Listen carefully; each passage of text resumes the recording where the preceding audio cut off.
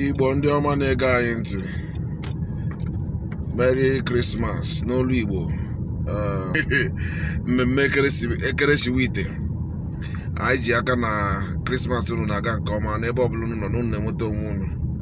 Ndị nọ na kanada ndị nọ na na naijiria ndị nọ na uk ndị larụrụ ụlọ na ndị na-alarụ ụlọ. Eji m aka ihe niile na-aga ọfụma. Mmemme unu ji laa ma ndị unu lara n'ụlọ ịhụ unu na hụrụ ha nke ọma na ihe niile na-aga dịka a tụrụ anya ya krismas episode na ilu igbo anyị nke taa bụ nigerian pronunciation and canadian pronunciation nke mbụ wụ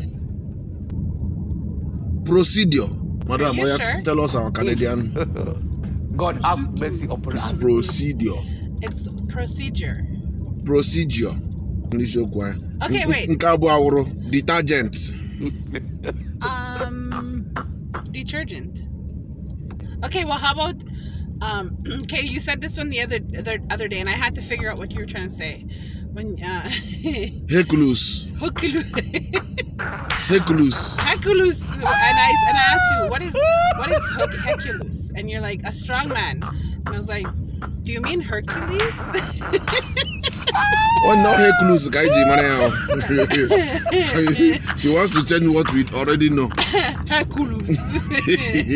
or else even live when you were saying leave and Leave. let leave, and I'm like. leave and let's leave like live and let live. n'isiokwu anyị Canadian pronunciation and Nigerian pronunciation okay oh. I think that's just you.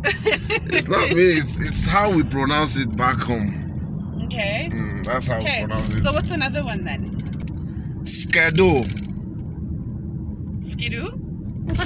well like you have an appointment it's called schedule Schedule. I don't think-